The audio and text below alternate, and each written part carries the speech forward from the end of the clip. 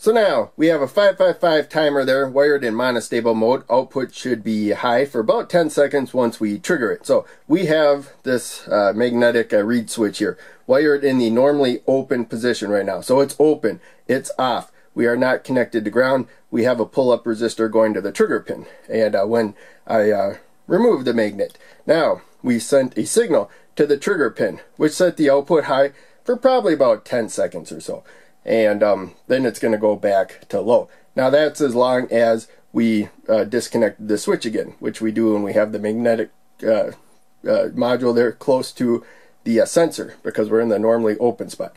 If we uh, remove this and keep this away for more than about 10 seconds, the output's going to stay high. Once the timing uh, period is done, then as soon as we bring the magnet back, then it will go back low. So I think we still got time for that. And there you can see, now it turned off.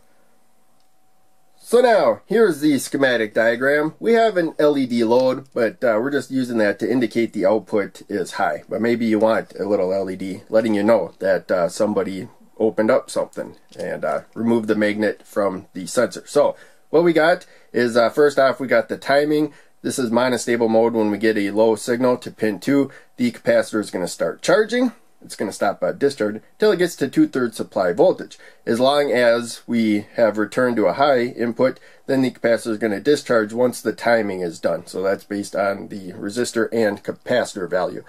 If we uh, maintain a, a, low input to 2, that's going to hold the output high until we stop if it exceeds the uh, timing. Hopefully that makes sense. But in case, we got to pull up resistor, keep the input high, since we are wired to the normally open spot, you know, COM, normally open right there, that means that it's going to be open off until we remove the magnet. Then it will close and we'll get our low connection.